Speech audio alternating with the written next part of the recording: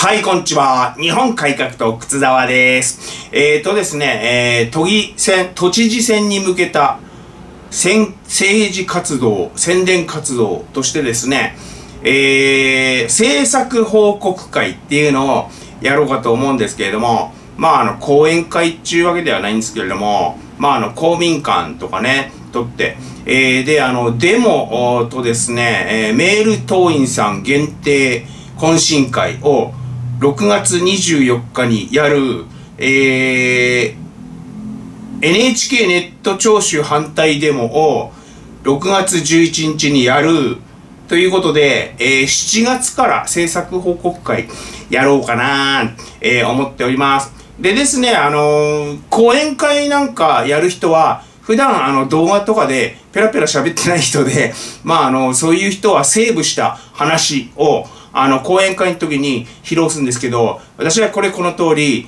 動画でペラペラペラペラ喋ってますから、えー、講演会まで来てもらって、えー、私がペラペラ喋ってんのも動画と思いますんで、えー、質疑応答で、もう対話形式にしようかな、えー、今から考えております。えー、今日あたりですね、あの、会場を抑えて、えー、都知事選に向けた活動ですんで、まあまあ、都内全、あのー、都内あちこちで、最初は池袋、慣れたところで、えー、やりまして、まあそんなことを考えております。長野県立てこもり、4人事件続報、立てこもり中、投稿を進める母親に説明した。女性2人を殺害したのは、2人が話しながら散歩している時自分のことを一人ぼっちと馬鹿にしていると思ったえー、一人ぼっちだったんじゃないの？なねあの親には溺愛されてたみたいですけど一人ぼっちだったんじゃねえの？だから怒ったんですよね。え一人ぼっちじゃない人が一人ぼっちって言われても怒んないもんね。えー、お前バカだなって言われて怒るのはバカで バカなんですよ。で日頃気にしてるからバカってやるとカッとなるんでえー、そうじゃないって知ってる人は、自分はそうではないって知ってる人は、あっはっはって笑えんですけどね。えー、公主刑は一気に死ねないから嫌だ。猟銃で自殺を試みるも失敗。2発撃って2発とも失敗。母親がですね、私が撃ってあげる。えー、猟銃を受け取り、自宅から逃走。えー、すげえ母ちゃんだなって思いますけど、強胆な。えー、まあまあ、あの、母ちゃんの言うことは素直に聞いたのかな。一緒にいたおばも、えー、母ちゃんが午後8時ぐらいに逃げた。一緒にいたおばは、あのー、12時ぐらいに、深夜12時ぐらいに逃げた。あ逃走成功。まあ、さすがに母親とおばを、えー、撃っちゃうことはしなかったんだな。その4時間後に本人も投稿したと。えー、これだと、あのー、気違い無罪無理ですね。えー、母親もおばもやっちゃったなんて言うと、えー、そういうのもありかなって思うんですけど、相手を選んで、えー、実行していたということですから、一般判断です。被害者、被害者遺族、加害者親族、全員不幸。本当に自分のことしか考えてないの。公主刑は顎を締めるのではなく、折るので、だいたい一気だよ。えー、これ折るっていうのもちょっとあの間違ってんですけど、抜くっつった方がいいのかな頸椎がですね、落下して、あの、ガシャーンってなる衝撃でですね、頸椎がポコってこう、こうなります。まあ、あの、首切れたようなもんですね。えー、死にたいのは母親だろ。どんだけ甘やかされて育ったんだ。公式でたっぷり苦しめ。心神喪失を狙うな。無理だなまあ、あの、母ちゃんとおばは見逃してますからね。えー、無理っぽいなえー、こいつに刺し殺されたり、撃ち殺された被害者の方は死に方選べなかったんだぞ。えー、警官なんてかわいそうですね。パトカーで、あの、駆けつけたら問答無用でドーンドーンってやられちゃって、様々ね、あの、刺し殺されたり、撃ち殺されたりもしたく願ったのに、えー、それやったやつがですね、あの、公式刑は嫌だなんて選べる立場がっつうの。えー、勝手すぎる。どこまで自分に甘いんだか。やすやすとですね、母ちゃんに銃を渡して、家の中ではあの、母ちゃんに逆らえなかったんだろうか。えー、4人もやっときながらね。自宅の武道園にですね、正則園って名前つけちゃうとか、えー、両親が過保護すぎて、こういうモンスターが、あの、出来上がったじゃないかなんて記事見ましたけれども、えー、でね、あのー、正則園をやってるだけじゃちょっとかっこ悪いから、アイス屋店長っていうですね、えー、片木もつけたろっつって、自宅のとこにアイス屋さん、あのー、やったんですけど、母ちゃんが一生懸命接客してる横で、バーっと、それあの、無言で見ていた長男。まあ、あの、長男、棟梁人禄なんて言葉がありますけれども、長男はあの、大事に育てられて、ぼーっとするっていうあの、言葉がありますけれどもね、他にもですね、殺したかったから殺した、なんても言ってたらしくてですね、えー、幼児でもこんなこと言わないですよね、今時の幼児は賢いもん。こういうのはあの、幼児以下の脊髄反射で生きてるようなのは、到底反省なんかしないがですね、おもお望み通り、こう死刑にしてやればいいんだねの？えー、母ちゃんはですね、あの、撃ってあげるって言ったんだから、撃てよな撃ったれよ、女。製造者責任ってものがあんだろうが、えー、こんなモンスター作っちゃってさ。関係は地に落ちたとして、公明党が自民党に東京での選挙協力解消を正式伝達だそうであります。えー、一般反応、そうかそうか、そうかがっかり、そうか野党になるんか、教団と連立してる方がおかしいだろうが、自民党はカルト批判のチャンスだぞ。カルト規制法案通しまくれ。これで減る票が思ったより少なかったら、全国に波及するだろうな。えー、公明が協力しないっつって、なんだ大した票減らねえな。だったら、全国であの自公の手切れがあの進む学会員の高齢化で先細っていく運命なのに生きりすぎでは、えー、これあの公明の方ですね。記事によればですね今後のあの都議選でも区議選でも協力やめるって、えー、言ってます、え、永遠に。東京では自公は永遠に手切れ。えこれはめでたいな。東京に限っては永遠にあの手切れなんで選挙のたびにあの比例票を減らしてるですね。社用の組織なのに、どうしてこんなに生きれんのかな？威張れんのかな？えー、謎ですね。これあの予想以上、はったりかましたら予想以上に自民党がですね、東京28区は譲れないっつって、頑張って、えー、今頃はあの、失敗したっつって、冷や汗かいてんのかな？でも引くに引けずという。えー、区議選は大選挙区なんで、あの、自公の応援っていうか選挙協力、そもそもない。いいから、えー、別にいいんですけど、えー、影響出ないけど、1人区や2人区だと影響出ますね。衆議選だの、都議選だの。えー、ちなみに2021年、もう一昨年のことになるか、豊島区の都議選結果なんですけど、えー、都和の本橋弘隆さん、24,5800、24,586票で当選。共産米倉春菜、21,890票で当選。公明、長橋圭一、19,925票で当選。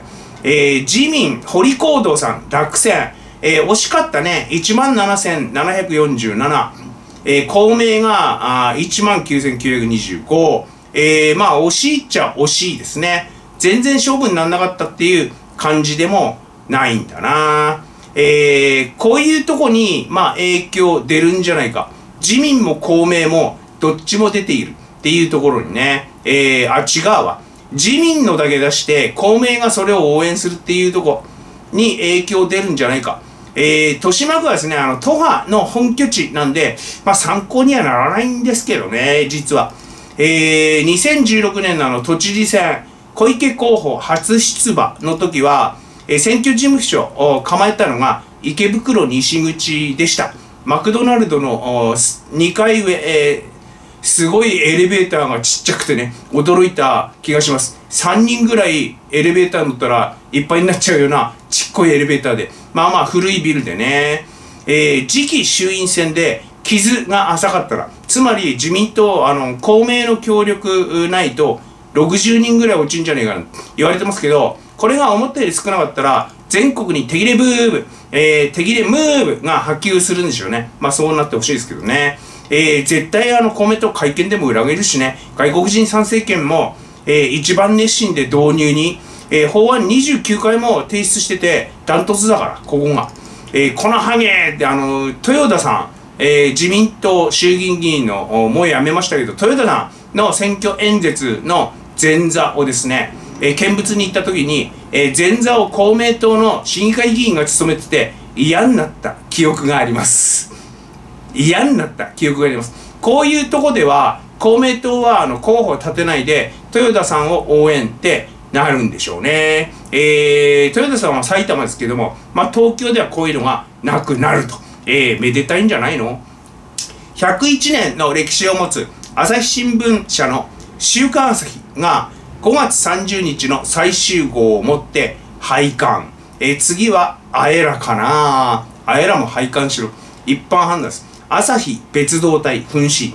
しょうもないゴミが一つ減るわ。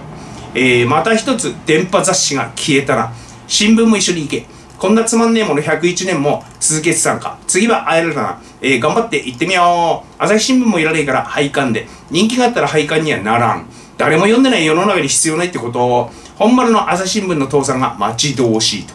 えー、朝日新聞、週刊朝日は独自路線を貫きとかやって、えー、廃刊しますっていう記事書いたんですけど、誰も褒めてくんねえから、自分で褒めてるみたいですね。えー、そんなね、あの、独自路線を貫いて、人々に受けていたら、廃刊するわけねえんだから。えー、この辺はですね、あの、K-POP は世界を席巻しているが、で、始まる韓国メディアと同じテイストだな。えー、自画自賛するの。えー、中野人ら一緒でしたっけ？朝日新聞と韓国メディア。えー、大手コンビニがですね、週刊誌の棚をこぞって撤去するっていう方針を発表しておりました。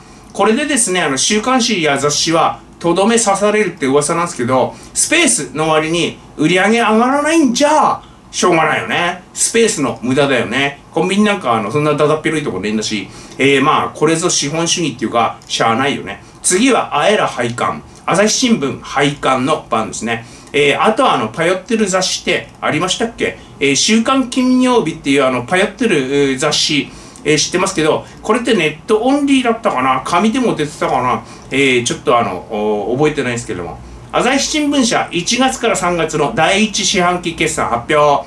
営業損益19億円赤字。これに早期割増退職金の特別損失を計上し、まあリストラして、えー、余計に金払うからやめてくんないっつってあの早期退職者を募集した。えー、なんでもあの6000万とか1億円とかあげるからやめてくんないって 言ったらしいですね。税引き前。えー、これがあの特別損失ってなりまして、税引き前最終損益は40億円の赤字だそうであります。40億円の赤字。えー、一般判です。え、去年は赤字じゃなかったことに驚き。ここまで嫌悪感を持たれていたら、公金で救済は無理。意地張って頑張れば頑張るほど、味方の高齢者が減っていく。サミットに出入りできるようなやつでもバッグを売って小金稼ぎしてるし決算を見た専門家の意見では固定費はもう削る余地なしであとは人件費削るしかなさそうだと、えー、早期退職した連中は他でも務まる連中だろうしもうカスしか残っていない。そうなんだよね、えー、早期退職で、えー、じゃあ辞めます、えお金もらえんですし、え他のあの会社からうち来ないって声もかかってるしみたいな優秀な人はやめてってね。え、今残ってるのはカスばかり。急ぎた一職。俺は朝日新聞でしか通用しない。って自覚があるようなのが残ってるね。将来性のない新聞事業をやめればいいのでは。毎日と朝日が合併して毎朝新聞になればよい、えー、超毎新聞じゃダメなんですか？不動産の稼ぎでも支えきれなくなると予想されてたがえらく早いな、えー、不動産事業やら投資事業を足して連結決算はなんとかですね25億円の黒字にしたみたいでありますということはあの朝日グループ朝日ホールディングスのお荷物は明らかに新聞部門ですよね新聞事業をやめて不動産屋になったら存続できるとは最後の最後まで考えねえのかな考えないんだろうな。えー、意地張って頑張ると味方の高齢者が減っていく。その通り。会社一般でも言えることなんですけど、倒産を免れようとしてですね、頑張れば頑張るほど再起不能になっていく。えー、限度ギリギリまでお金借りちゃったりなんかして、社長の自宅まで担保に入れちゃったりなんかして、えー、それまでなくなっちゃったら、まあ、再起不能になっちゃいますよね。私が生きてるうちにあの、朝日新聞の消滅みたいが、その夢は叶いそうですね。えー、あとはあの、手強いのはテレビ朝日かな。えー、フジテレビがあの、なんかね危ない。一番その決算が。不動産とかねえからねあそこ、えー、お台場に移っちゃって変な社屋。あれパチンコのステマじゃねえかなんてあの社屋。私思ってんですけれども、えー、令和の大石明子。高出力電波を発信。高出力。おじいちゃんがおにぎり1個盗んで逮捕される国で子供を育てようと思いますか？一般反応です。嘘かと思ったらガチで言ってて草。全く意味がわからん。ななななな何を言っとるんや。ガチで理解不能。窃盗見逃せって言ってんの。おにぎり1個くらいで逮捕するなって意味。刑務所に入りたくて窃盗を繰り返す高齢者が社会問題になってるが。つまりおじいちゃんをゼロにすればいいということ。令和ってほんと異次元。じじいになったら盗んでもええんか。令和でコラボのおじいちゃん版やったら万引きが許されるような国の方が子育てしたくねえわ。えー、いやあのおにぎり1個盗んだら逮捕されなくちゃ困るでしょ。困るでしょそんなの。おにぎり1個まではいいとかいう世の中になったらえー、どうせおにぎり1個じゃ済まなくなんだからね。で1回におにぎり1個だったら1日何回も出かけてって100個も盗んでいいのかって話になるしね。じいさんがおにぎり1個盗むのは許すって言ってるように聞こえんすけど、えー、それと子育て何の関係があるのかな。えー、じいさんだったらですねあの大石議員の家からおにぎり盗んでもう笑って許してくれるみたいですね、えー、あの若者はダメ。おばあちゃんはダメ、えー、っていうですねあのおじいちゃんじゃなくちゃダメ。おじいちゃんなら許すっていうことだったら差別ではそんなのは、えー、結論ですけどパヨ語は別言語。我々とは多分未来英語話し合いで分かり合えないと、えー、何言ってんだろう。えー、てめんちからおにぎり盗んでも笑って許してくれるのがえー、じじい限定がみたいな そんな感じなんですけどもね。北朝鮮5月31日から6月11日の間に人工衛星を打ち上げます。人工衛星を打ち上げます。浜田防衛大臣自衛隊に破壊措置命令を出した、えー、イージス艦、あのー、待機させてあとあの地上であの迎撃部隊も用意させるって、えー、31から11日までか12日間も結構長えな。え、待機疲れしちゃいますね、これね。一般犯です。えー、盛り上がってきました。近辺の指示からいよいよ始まるか。日本じゃなくて、休戦中の感覚狙えよ。この通り。衛星って言い張っても、安保理決議違反。本当なら撃墜は韓国の仕事なんだけど、あいつらマジ使えねえ。日本の領域に落ちる可能性あるなら、迎撃の準備は必要。